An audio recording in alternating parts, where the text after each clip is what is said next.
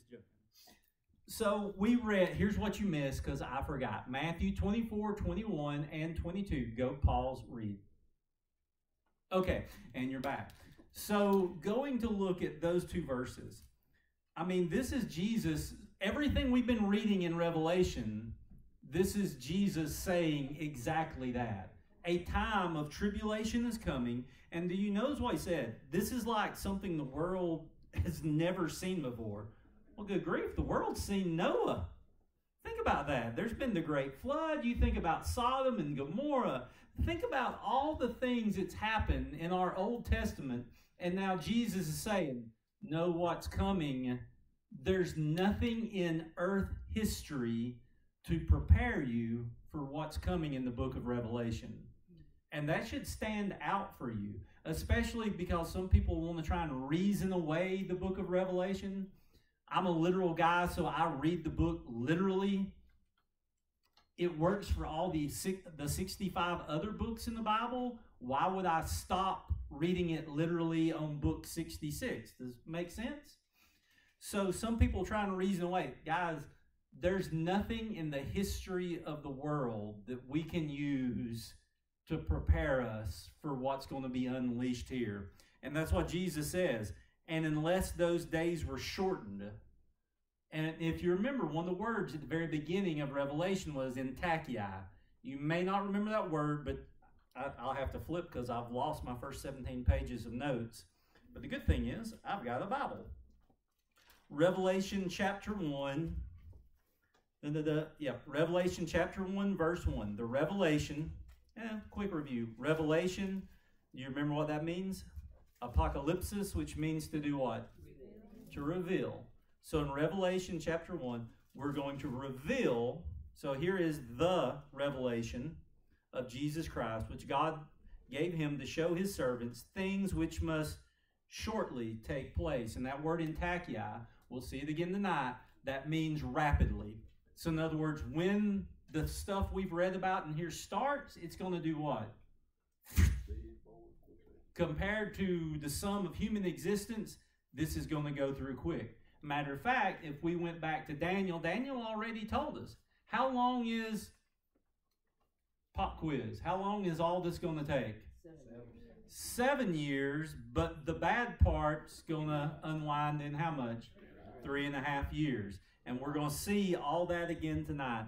So, into Revelation. I think uh, we went through Revelation chapter 11 last week. I'm going to grab real quick though. In Revelation chapter 11, we did it last week, but in Revelation chapter 11, we saw in the end times there will be two witnesses come forth. And, and again, to me, the big thing that's so awesome about what we see in Revelation chapter 11 is here we see God, even in the midst of the worst time, God's still looking to save people. And, and we'll see the last altar call tonight. We'll get through that part of the book. So we see God sends out these, and guys, these guys got it great. Can you imagine this? These two guys, when they show up to a city, it stops raining, they control the weather, they can, they got everything. And if anybody comes against them, they just breathe fire. Try and stop my revival. You can't stop these guys. But then, but then, I love it. They, they work up how do they end up dying? It's, it's the beast, Antichrist himself, ascends out of the bottomless pit to make war against them, overcomes them, and kills them. That is in verse 7. But if you remember, there was something very important in verse 7. The beast doesn't kill them until they've done what? When they finish their testimony. So I like how Satan thinks, yeah, I'm winning. It's like uh, their job was done. And then the beautiful thing was they laid in the street if you remember, the beast kills the two witnesses and they lay out in the street for, is it three days or four days? Three and a half days. And for three and a half days, their bodies are in the street.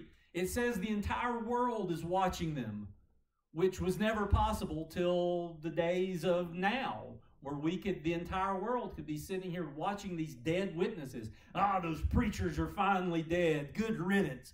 I'm glad they died. It even says they threw a party. They made merry with it. Can you imagine it? It's Happy Dead Witnesses Day. They're all celebrating. Yay, the preachers are dead. The preachers are dead. And then the next thing you know, after three and a half days, God just, whoop, and they're right back up again. Can you imagine that raining down on their parade at that point? They're so happy because the beast, the Antichrist, has killed these guys. And after three and a half days, a breath of life from God enters them. They stood on their feet. Can you imagine what they thought then? All right. So then it was in verse 15, the seventh angel sounded. So this was the seven trumpets. And then at this point, I love this announcement. The kingdoms of this world have become the kingdoms of our Lord and his Christ, and he shall reign forever and ever. And then they worship and worship, and it just keeps worshiping into Revelation chapter 12. In Revelation chapter 12, verse 1, so now we're really kicking it off tonight. Now a great sign appeared in heaven a woman clothed with the sun and the moon under her feet, and on her head a garland of 12 stars. And I told you last week, I said the woman in this is Israel. Now, the Catholic Church will say it's Mary and everything in here. Well, Jason, why would you say it's Israel? Because the Bible says it's Israel.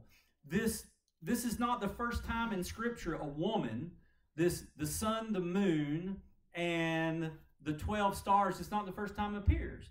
It was in Genesis 17. It was Joseph's dream.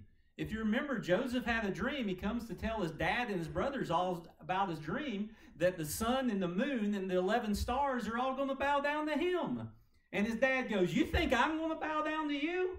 So his dad and the mom, being the sun and the moon, and then the 11 stars were his 11 brothers. And his dad, You think I'm going to bow down to you one day? So, what we were talking about, the woman clothed with her in sun and moon, this is this is Israel. This is the children of Israel coming out of this. So now there's this woman, and then being with child, and so now it's like, wow, what child came out of Israel? Isaiah 9 6, for unto us a child is born, unto us a son is given, and the government shall be what? Upon his shoulders. So out of Israel comes a child, there's Christ. She cried out in labor and in pain to give birth. And another sign appeared in heaven. Behold, a great fiery red dragon, and there's Satan, having seven heads and ten horns. So when we go through scripture, it's always like, I think, like, I remember reading this as a younger Christian, like, I literally thought of a dragon, like, out of a movie with, like, seven horns, like, seven heads. That's not what any of this means. If you go through and read scripture, whenever you see heads and crowns, we learned it all back in Daniel. Seven heads means there's going to be seven rulers involved in this. In other words, you're talking about these are kings or kingdoms that are involved. So, this fiery red dragon, and again, we've already talked about this. Why use of words like dragon? Because this was written 2,000 years ago.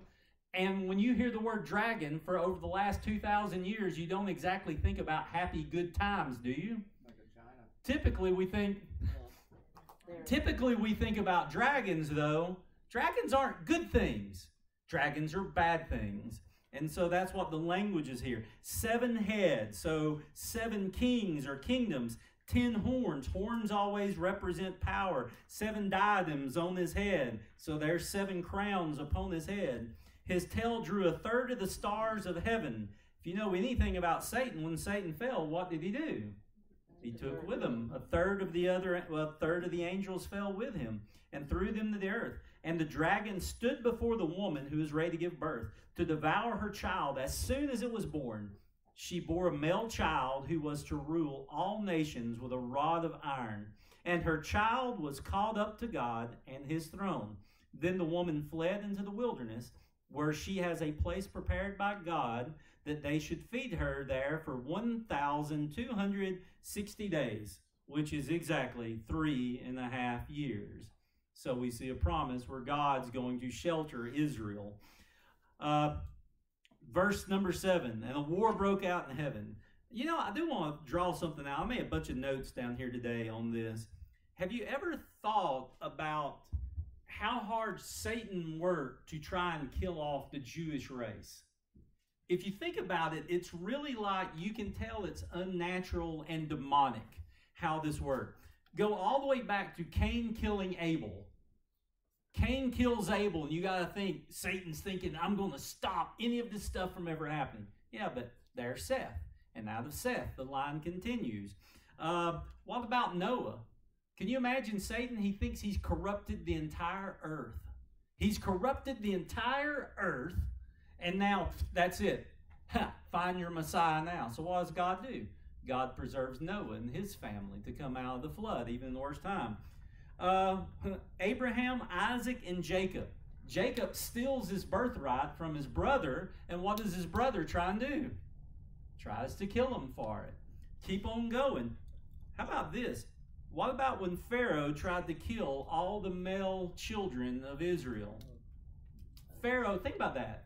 What kind of an un? Why would Pharaoh want to do that? Because Satan wants to prevent the Messiah from ever being born. So this war we're reading about, it's not new. What about Saul trying to kill David? Because in the end, the Messiah comes from who? David. So you try and kill David. But that's not in God's will. What about the book of Esther? You ever thought of that? You try and kill off every single Jew. God doesn't have it because there's a Messiah to come out of the Jews. Uh, there's a lesser story, uh, Ath- Athaliah. It's in Chronicles. Athaliah kills all the heirs of Judah. He kills every heir in the line of Judah except for Joash is hidden away. And through Joash's line, the Messiah is born. So at every attempt, what about when Jesus was even born? Do you remember what Herod tried to do when Jesus was born? Kill all the baby boys younger than two years of age. So this war that you're reading about is not new. Verse 7 The war broke out in heaven. Michael and his angels fought with the dragon, and the his angels fought, and they did not prevail, nor was a place found for them in heaven any longer. So the great dragon was cast out, that serpent of old, called the devil and Satan, who deceives the whole world. He was cast to earth, and his angels were cast out with him. It's kind of an interesting verse. And so all I can think about in that is, do you remember in Job how Satan kept kind of browsing up in the God's point of view? Have you considered my servant Job? I know Brother Mark David's been reading that book a lot lately. But we see at this point, whatever access Satan ever had to God, it's gone. God's finished with Satan at this point. You're not you're not got any place to do with me anymore. And now we see this. Now heard a loud voice saying in heaven, Now salvation and strength and the kingdom of God and the power of Christ have come.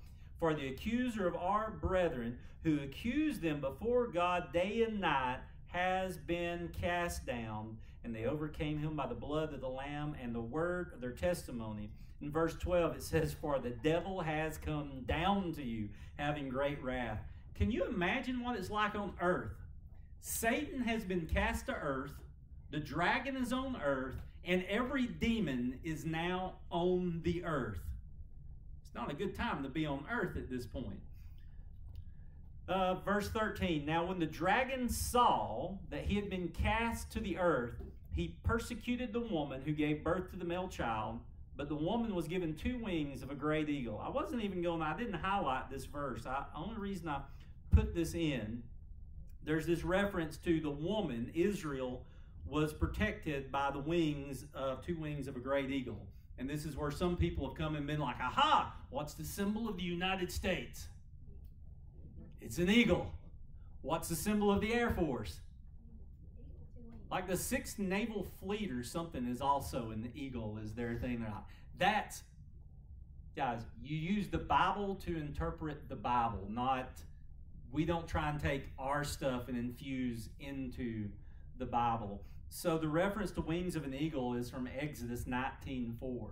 And so if you wanted to get a reference there, you can jot that note down. But it's not the first time that terminology has been used for, and essentially I wrote down a symbol of God's protection is what I pulled away from 19.4.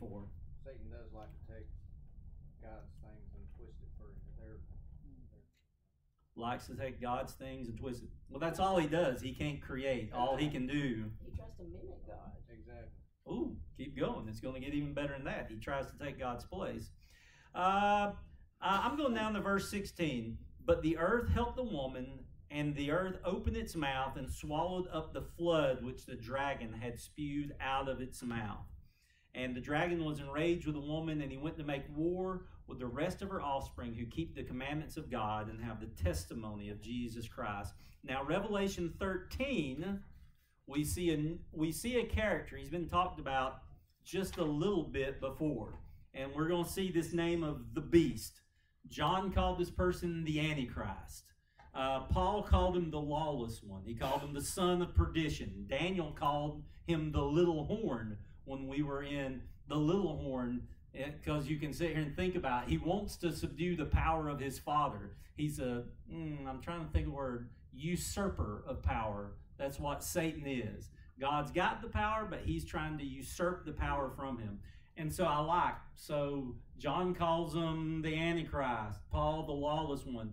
God just calls him a beast. The end. He just calls him a beast. And so here is the antichrist coming up. Then stood on the sand of the sea, and I saw a beast rising up out of the sea. This is pretty common language. The sea usually means like nations at this point. So this is an implication that the Antichrist himself is not going to be Jewish, but he's going to probably be Gentile.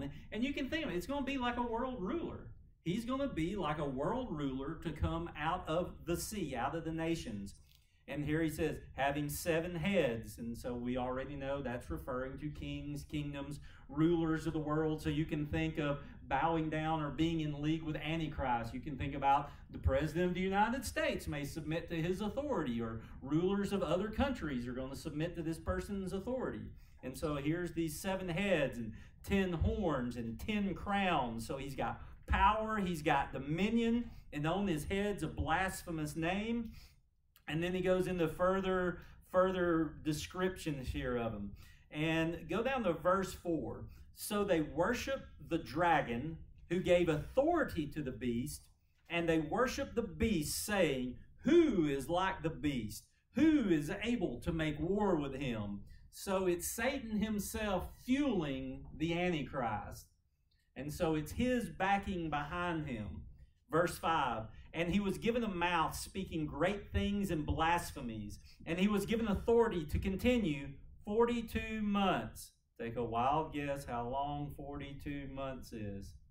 Three and a half years. The same things continued all the way through this. So for three and a half years, there'll be peace. And then three and a half years in, you'll see when everything starts unwinding. Remember in tachei, when things start going bad, it's going to go bad in a hurry. So then he opened his mouth in blasphemy against God to blaspheme his name, his tabernacle, and those who dwell on earth. And it was granted. I got to do this. Go to Second Thessalonians real quick, chapter 2. I wasn't going to deviate from this, but we're, we're on good schedule, believe it or not. We're going to be good, guys. We're going to finish next week, just like, of course, it'll be better if my tab for Thessalonians wasn't ripped off.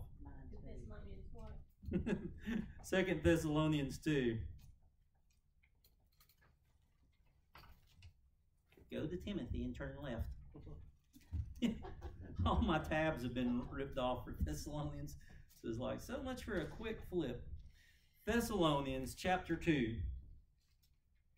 Now, brethren, concerning the coming of our Lord Jesus Christ, so here's Paul. Now, brethren, concerning the coming of our Lord Jesus Christ, and are gathering together to him, we ask you not to be soon shaken in mind or trouble, either by spirit or word, or by letter, as if it is from us, as though the day of Christ is come. Let no one deceive you by any means, for that day will not come unless a falling away comes first.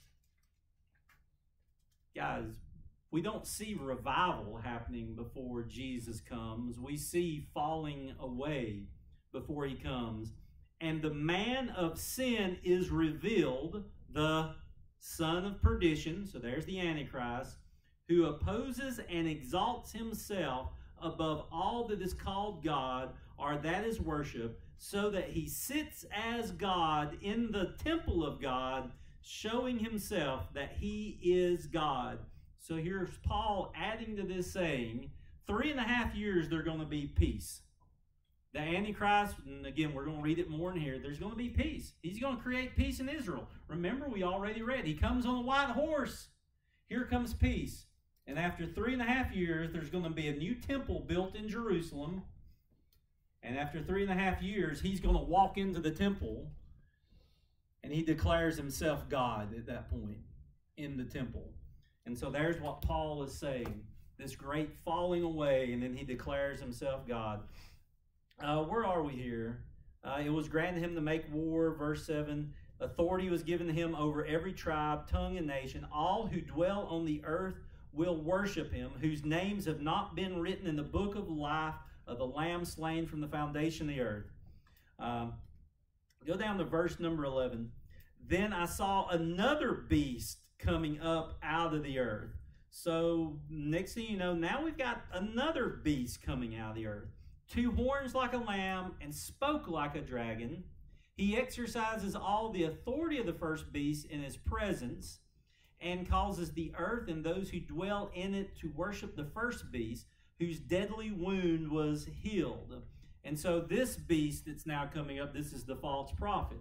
And the false prophet has, uh, all I can think of is like to say a hot man. The false prophet has one goal to point people to the Antichrist.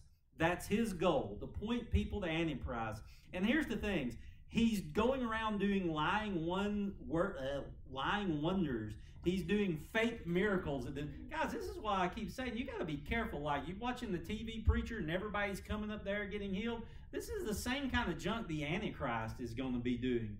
Sitting here making a spectacle and healing. And yeah, I don't doubt that sometimes somebody goes to, I've heard somebody say they went to a, oh, it's a witch doctor lady or whatever over in Georgia and hey, they, they healed so and so. They could have. But I'll give you a hint, it wasn't God doing it. Satan works in a lot of ways as well. And so that's exactly how the Antichrist. Apparently, the Antichrist gets what looks like a deadly wound, and there's a fake resurrection of the Antichrist. And so the false prophet takes uh, pulls that off. Verse 14, and he deceives those who dwell on the earth by those signs. So you notice there's the signs. He's making a good show. Come on down this morning. Guys, be careful. Guys, be careful. He deceives those who dwell on earth by those signs he was granted to do in the sight of the beast, telling those who dwell on the earth to make an image to the beast who was wounded with the sword and lived. He was granted power to give breath to the image of the beast, and the image of the beast both speak and could cause as many as would not to worship the image of the beast to be killed. So there's been an image of the beast made that comes alive. And what's funny, 2,000 years ago, that would probably be crazy for us to think of like, think about a giant statue come to life. Guys, I've been to Disney World.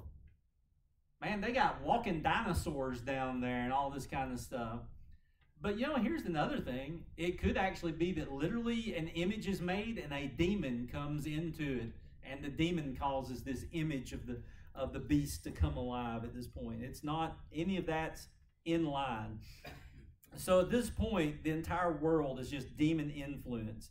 He causes he causes all, both small, great, rich, poor, free, and slave, to receive a mark on their right hand or on their foreheads, and that no one may buy or sell except the one who has the mark or the name of the beast or the number of his name. Here is wisdom. Let him who understanding calculate the number of the beast far as the number of a man, his number is 666. Seven is perfection in the Bible, right? So the number of man is 666. Because for whatever it is we try and do, we'll never be God. So six, six, six. We were created on the sixth day, and we will never be God. We will always be short of God. And so we've got this number. Now, does it mean a literal 666 on the number on the it is the symbol, though, that there will be something. There will be some kind of sign. And what's funny, 20 years ago, I would have never thought about it. But they already make microchips that they install in people's hands where you can do, other countries are using it. So it's kind of like where you can do the tap. I do tap all the time. We got a chip in my credit card. You walk up to the cash register, lay it on there, and boom, buy buy my gas. Go to the grocery store, tap the screen. What they wanna do with your medical records? and all? That they're already trying to go that route. So at this point, imagine there'll be a chip, and you'll go up, and all you're buying or selling. Because think about it: how many of you use cash for all your purchases now?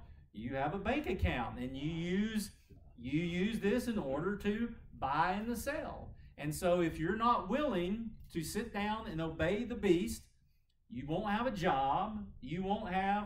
And so, I had a bunch of people. You know, it was back with the COVID vaccines. One, do you notice something? The COVID vaccine was not getting the mark of the beast because taking the mark of the beast literally pledges your allegiance to who? Well, Antichrist. Yeah, so Satan. And so that pledges your allegiance to Antichrist when you receive the mark. So that would mean that the Antichrist would have to already be revealed now. Antichrist doesn't reveal himself to, as Antichrist until three and a half years into the tribulation. So we can't, you can't be duped right now into getting the mark of the beast. But now, was it a little like though? We've seen so many things where we see pictures of what happens in the tribulation now. Uh, good grief, my wife, she almost lost her job. Lindsay almost lost her job. There's probably more of you in here that almost got fired for. So have we seen a little picture of this so far? Yeah, we've already seen a picture of this so far. People in the military getting kicked out. Then I looked, and behold, a lamb standing on Mount Zion. Revelation 14. Oh, I got to pick it up and roll. 20 minutes. And with him 144,000. Guys, we already read about the 144,000. It was what? 12,000 from 12 tribes.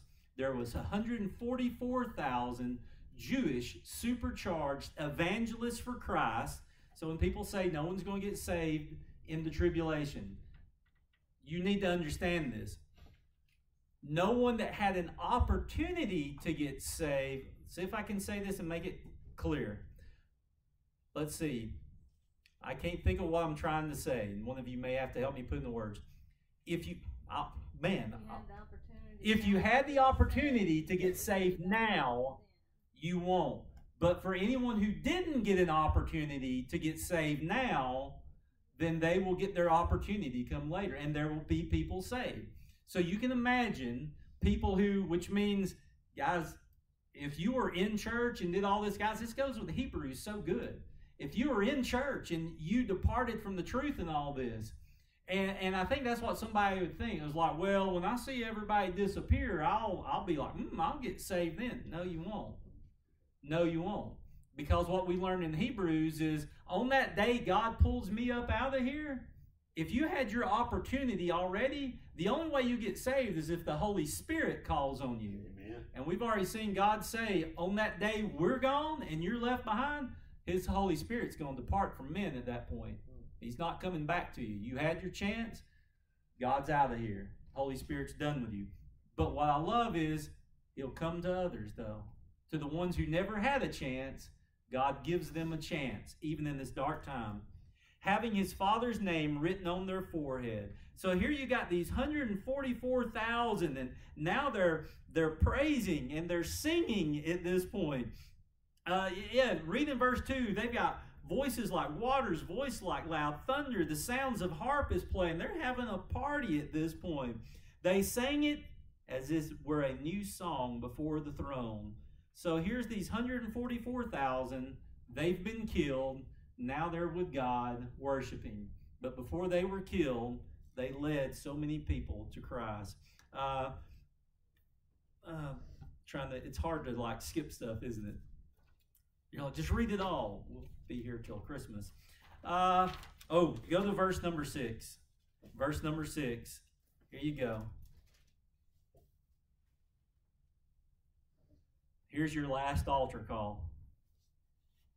Then I saw another angel. So the 144,000 have already been called home. And so here it is, the final altar call. Then I saw another angel flying in the midst of heaven, having the everlasting gospel to preach to those who dwell on the earth, So an angel is going to literally fly. I was thinking about like the little Santa Claus tracker they use at Christmas time.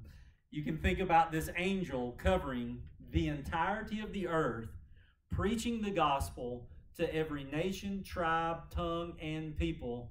I just love this because here in this final day, no one will say they didn't have a chance. Every single person will have their chance. God will send an angel to make sure everyone hears the gospel, saying with a loud voice, Fear God and give glory to Him, for the hour of His judgment has come, and worship Him who made heaven and earth and the sea and the springs of water. And I think this is where it goes back to Matthew 24 again. There's a lot of people that think, you know, Jesus isn't coming back until it's our job. Jesus isn't coming back till we've reached every single, the word is ethnos for nation. Every single, this is every ethnic group. A lot of people think Jesus can't come back until this is our job. This is our job to send missionaries to every single place to translate the Bible into every language. It's not it's not on us to reach every person because what is God going to do before Jesus comes back? He'll send an angel out and he'll take care of his business. So, yeah, it's true. He's not coming back till every ethnos, till every nation is reached. So, he'll send an angel to make sure in that final day every nation is reached. Now, it's not me saying, should we not be doing that? Oh, yeah. But don't be thinking, hey, there's just two people groups left and we've done this and then Jesus comes back. We're not bringing Jesus back. That's when it's in God's good time. Uh, go down to verse 14 now, moving up a little bit. So now we're getting to Armageddon at this point. Then I looked, and behold, a white cloud, and on the cloud sat one like the Son of Man, having on his head a golden crown, and his hand a sharp sickle. And another angel came out of the temple, crying with a loud voice to him who sat on the cloud, Thrust your sickle and reap, for the time has come for you to reap, for the harvest of the earth is ripe. It's judgment. God's give the last alt, the last altar call has been given, and now God takes the sickle and he thrusts it in, and the harvest is started. God's judgment is on the earth. Go down to verse number 20. I'll give you a little, little bit of a taste of what's going on in this judgment. Verse 20 And the winepress was trampled outside the city. Blood came out of the winepress up to the horses' bridles. That's about five feet. For 1,600 furlongs, 200 miles. It's the exact length of Israel. God thrusts his sickle, and the blood flows 200 miles long, five feet deep across the earth.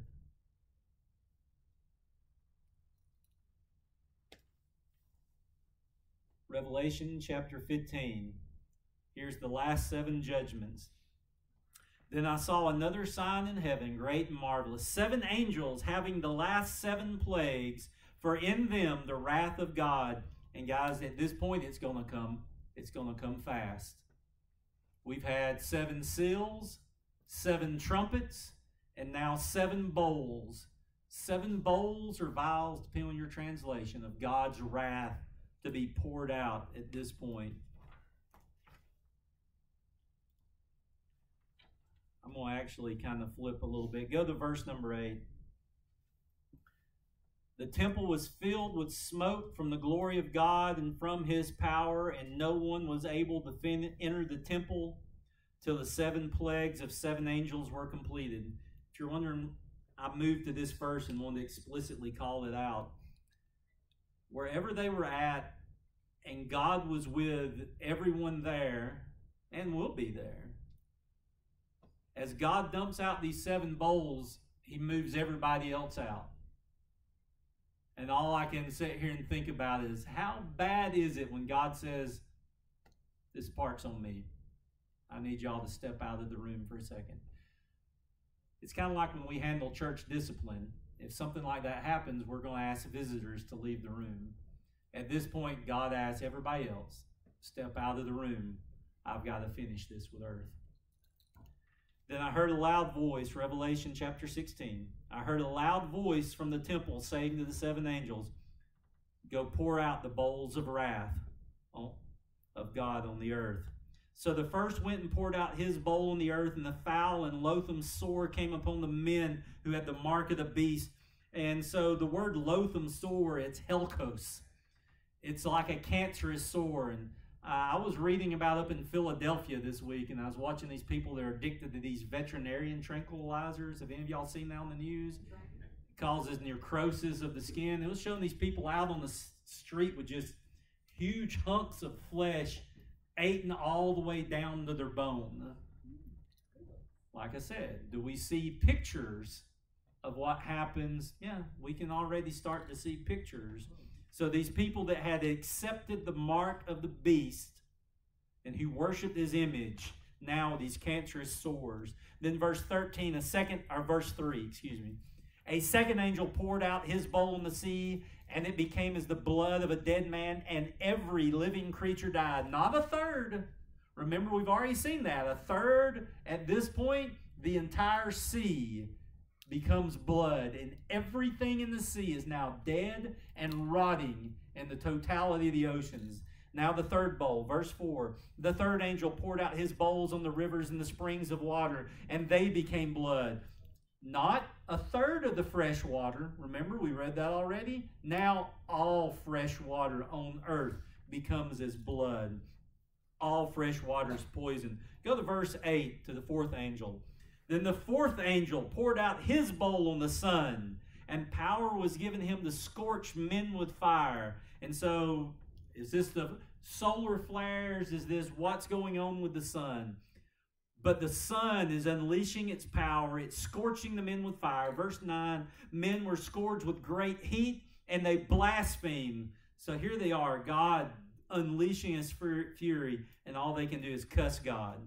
They blaspheme the name of God who has the power over these plagues, and they did not repent and give him glory. They still will not repent. Verse 10 The fifth angel poured out his bowl. Notice how these are happening. The fifth angel poured out his bowl on the throne of the beast, and his kingdom became full of darkness, and they gnawed their tongues because of pain. There's no light. Imagine the blackest black where you can no longer see your face, and the people are literally in such pain, they're literally gnawing their tongues off because of the pain. They blaspheme the God of heaven because of their pains and their sores, and they did not repent of their. Do you notice this? They blaspheme God because of their pains and their sores. It means there wasn't, you get this plague, stop. Now a new one, stop. It means all these plagues were cumulative. God just kept pouring it on and kept pouring it on. And now we're getting ready. God's making way for the battle of Armageddon. So he's literally clearing the playing ground. The sixth angel poured out his bowl in the great river Euphrates, and its water was dried up, so that the way of the kings from the east, that's Anatolia. It's actually, the word is Anatolia, which is Turkey.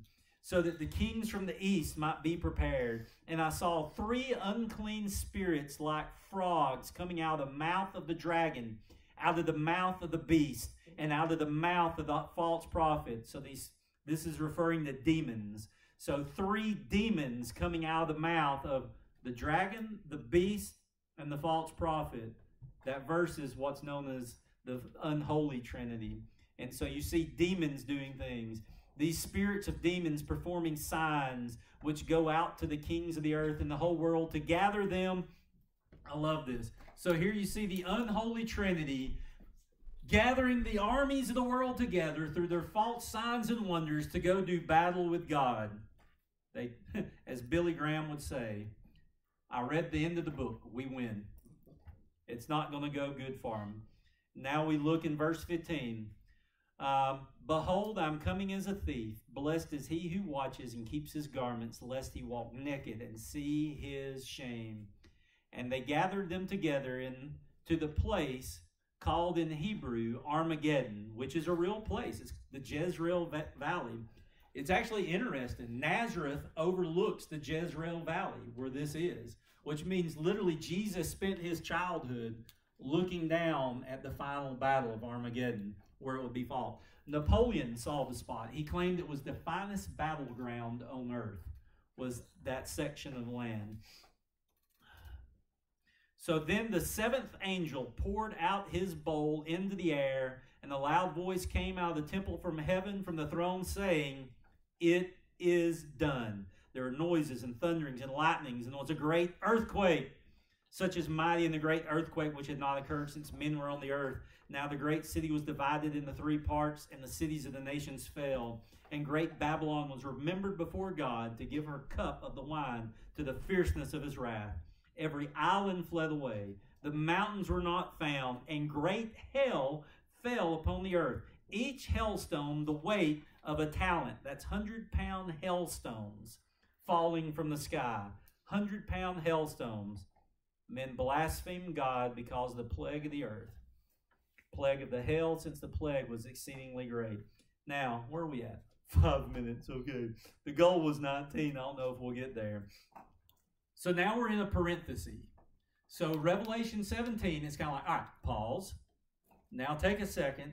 Here's a pause. Revelation 17, here's a little review of the last half of the tribulation. So the question would be, is there religion during the tribulation? Yeah, there'll be religion uh, in verse number one Come, I will show you the judgment of the great harlot who sits on the many waters. This false har- this great harlot, that is the false church. Whereas the church is a bride, the harlot is the false church that will exist at this point. And so in verse number three, look what he says in verse three. And I saw a woman sitting on a scarlet beast, which was full of the names of blasphemy. Guys, it's perfect. It's the false religion and the Antichrist work together. It's politics and religion combined. So it's the Antichrist working together with this false religious system, this harlot, having the names and the power and everything's here. So it's just religion mixed with politics and powers. And verse number six I saw the woman drunk with the blood of the saints and the blood of the martyrs of Jesus. And when I saw her, I marveled with great amazement. Guys, I'll be honest. I think that I think the great harlot, I think the false church is already here. I think that's already here being established at this point. Uh, go all the way down. I'm going to try and get through 17 and 18 in five minutes. Uh, go, go down to verse 14. Uh, these will make war with the Lamb, and the Lamb will overcome them. For he is the Lord of lords and the King of kings, and those who are with him are called chosen and faithful. So the harlot and the beast try to make war with the Lamb. You can't beat the Lord of lords and the King of kings. Verse 15 And he said to me, The waters which you saw where the harlot sits are peoples, multitudes, nations, and tongues.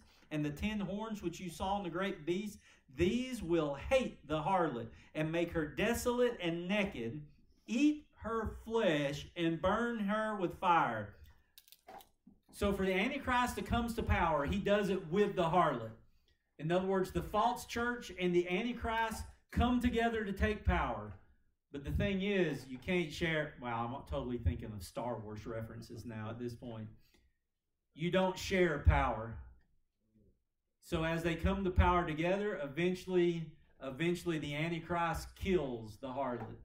He kills the false church because eventually, who does the Antichrist want all the eyes on? I want you to look at me. I don't want you to be with this religion stuff. I don't share power. Revelation chapter 18. So there will be a false church which will be consumed. Revelation 18 you'll see you'll see another Babylon, Babylon the Great. Revelation chapter 18 is about a world economic system. Uh, verse number 2 Babylon the Great is fallen, is fallen, and has become the dwelling place of demons. The world economic system has collapsed at this point. That's it. Everything has collapsed. Verse 5 For her sins have reached to heaven, and God has remembered her in equity. Guys, what happens in the rest of this chapter here, we see the economy collapses, banks collapse, everything. Money, worthless. You can be a billionaire. It's not going to do you any good at this point. I will read just a little bit more, though. Verse number nine The kings of the earth who committed fornication and lived luxuriously with her will weep and lament for her. Guys, Bill Gates is going to be a worthless dude when this day comes. When they see the smoke of her burning, all the rich people are going to be crying because they don't have any money anymore. It's gone. Your bank account is void. Standing at a distance for fear of her torment, saying, Alas, alas, that great city Babylon, that mighty city, for in one hour, that's just speaking to this brevity of time, your judgment has come. All the merchants of the earth will weep and will mourn over her, for no one buys their merchandise anymore. There's no buying and there's no selling. There's no money. Merchandise, look at this merchandise of gold and silver, precious stones and pearls, fine linen, purple, silk and scarlet, every kind of citron wood, every kind of object of ivory, every kind of object of the most precious wood, bronze, iron, marble, and cinnamon and incense, fragrant oil and fragrant frankincense, wine and flour, wheat, cattle, sheep, horses, chariots. And I thought the last part in my New King James it says, in the bodies of souls and men at this point and all I could think about was sex trafficking and everything else. There's nothing. There's nothing to buy with. There's nothing to buy.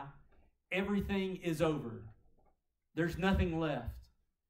God has reaped upon the earth at this point. So your money is no good. Everything, you know what people are just trying to do? They're just trying to survive. That's it. All that's left is survival at this point. That's all they have. Uh, go down to verse 17. Every shipmaster, all who traveled by ship, sailors, as many as trade on the sea, stood at a distance and cried when they saw the smoke of her burning. So here's the collapse of this world economy. It is over. They threw dust on their heads and cry out, weeping and wailing, saying, Alas, alas, for that great city in which all who had ships on the sea became rich by her wealth, for in one hour she is made desolate. And now, I love this. The earth is coming to pieces. There is no more rich. There's no more poor. There's just, can I can I make it till tomorrow?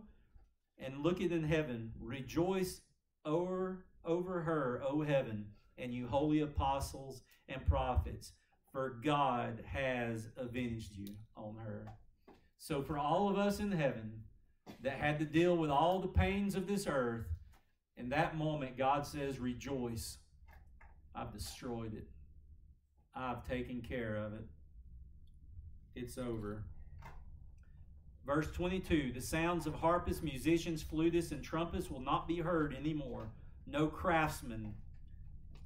I don't know if you get this. The sound of harpists, musicians, there's no music. There's nothing to celebrate anymore. I, I wrote my personal note I wrote to myself is the party is over. So all the people thinking they're going to live it up. But now here's what's cool. I'm not going into Revelation 19. I'm going to stop and we're going to get there next week. But what is cool about Revelation 19? The party begins. The party down here is over. But in Revelation 19, you could title that The Party Begins. Because in Revelation 19, Revelation 19 is all about one thing Jesus is coming back in Revelation 19. Jesus come to get us, but if you remember, good grief, we got a song even remind us of it. Where do we meet Jesus at? There's a meeting in there. Jesus comes to get us, takes us home. Everything unfolds here. And in Revelation chapter 19, it is time. Alleluia, alleluia, alleluia, amen, he says. I got to read it. Just one more verse, verse 16.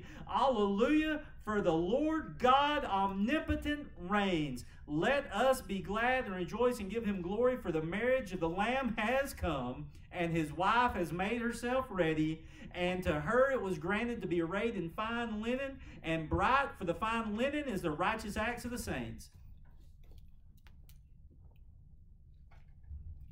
We're getting married. Jesus is coming back.